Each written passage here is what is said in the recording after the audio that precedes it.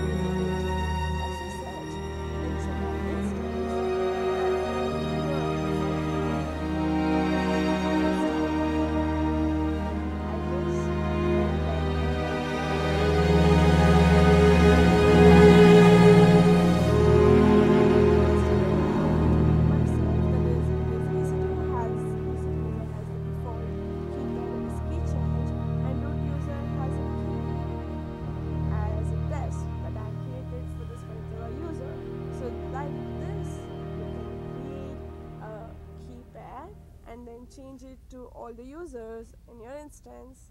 If you like this video, don't forget to subscribe and don't forget to comment.